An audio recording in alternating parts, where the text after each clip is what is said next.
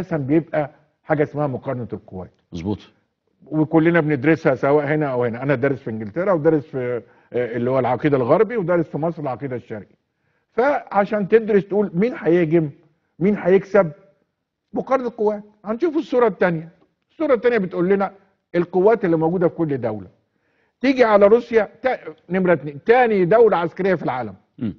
أوكرانيا الدولة 25 آه، روسيا ميزانية الدفاع 42 مليار. أوكرانيا 9 مليار. الجيش الروسي مليون.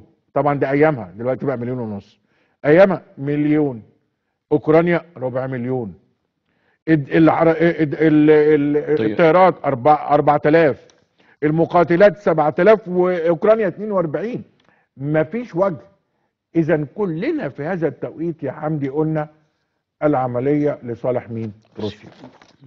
وكل المراكز الدراسات والقاده قلنا إن هذه العملية لن تأخذ 3 ل 4 شهور. كان الخلاف حوالين مساحة الوقت يعني الزمن. مش زمن دلوقتي آه. بس كلنا بما فيهم أنا آه. وكل مراكز الدراسة الشرعية قال لك دي وحتى بوتين قال لك عملية خاصة.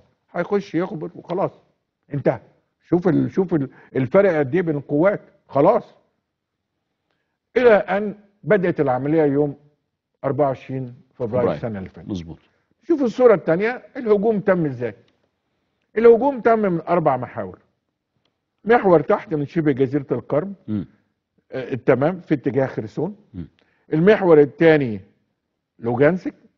المحور الثالث خريف. خريف. المحور الرابع في اتجاه كييف العاصمة. مم. الروس في الحرب ده كل دولة اما بتخش حرب بنعمل استفادة بنستفيد.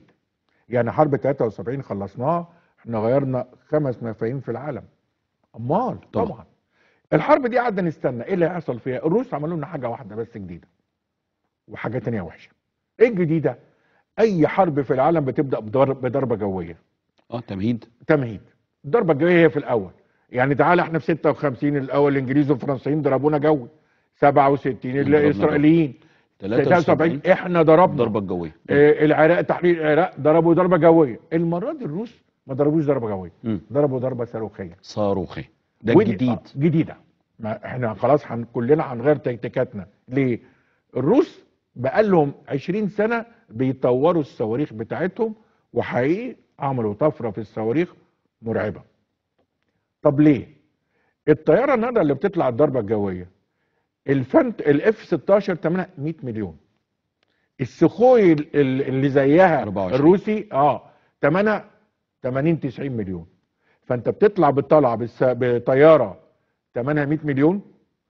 طيار بقاله بيتدرب أربعة في الكلية الجوية وسنتين على الطيارة ست سنين. عايز مطارات عايز رادارات. كل ده بتعمله بصاروخ. فاني أوفر. بالطيارة اللي ثمنها 100 مليون ولا الصاروخ اللي ثمنه مليون أو اتنين؟ الصاروخ طبعا. الصاروخ طبعا. فبالتالي المرة دي كانت مفاجأة لنا أن الروس قدموا لنا فكر عسكري جديد. كلنا الغربي والشرقي هنتبعه في الفترة اللي جاية. الروس لما طوروا الصواريخ في العشر سنين اللي فاتت أو 20 سنة ما طوروش الطيارات المسيرة بدون طيار. فاضطروا ياخدوا طيارات من إيران. من إيران. فبالتالي الفترة اللي جاية آه، الروس هيطوروا ال- ال- الطيارات المسيرة بدون طيار وبدأ الفكر الجديد ده يطلع في العالم كله إن إحنا هنستغل الطيارة المسيرة بدون طيار ودي قصة طويلة لأن طيارة بتطيرها من فوق سطح بيت من فوق عربية ثمنها آلاف الدولارات وبتطلع نفس, الكلام. دي قصة طويلة. مظبوط. فدي كانت البداية. نرجع تاني للصورة اللي هي فيها الأربع اتجاهات استراتيجية. مم. الروس في أول عشر أيام يا حمدي ضربوا ضربة رهيبة بالصواريخ أنت فاهم؟ عملوا دمروا البنية الأساسية بالكامل لأوكرانيا. وهنشوف زيارة آه، آه، آه، طبعا جو بايدن الأسبوع اللي فات ما قدرش يروح بطيارة طلع بقطر. دمروا جميع القواعد الجوية الأوكرانية.